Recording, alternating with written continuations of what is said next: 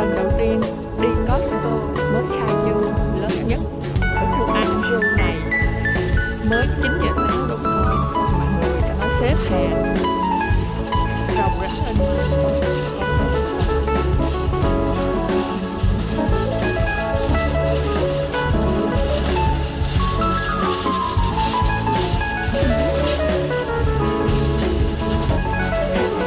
chia làm hai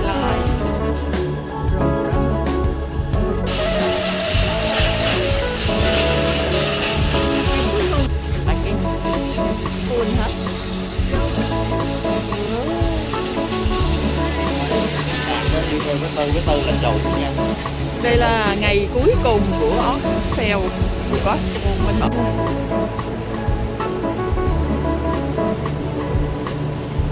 Ờ, cái cửa này là cửa gì? Bên kia là Tao chia ra làm hai vậy đó. Em À, cũng biết tại vì đông Dạ, tại đông quá.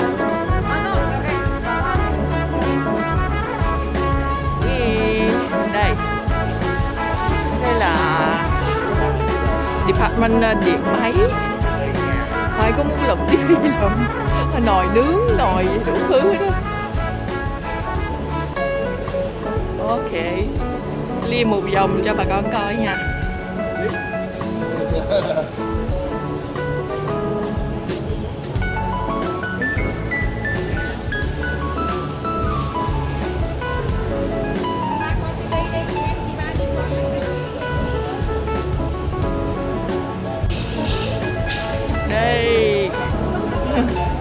đi coi mấy cái section nó bán ờ, cái gì chưa?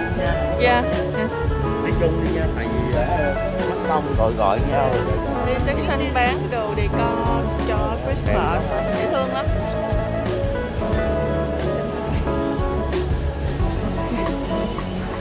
Dễ thương không